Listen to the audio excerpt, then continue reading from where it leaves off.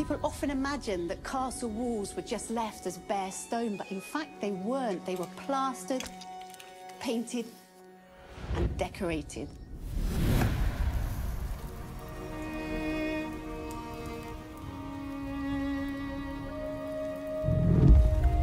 El proceso para hacer la pintura medieval comienza en una cantera.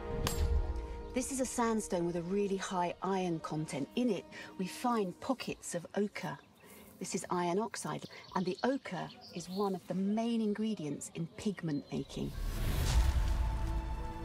Primero se tritura el ocre creando un polvo fino.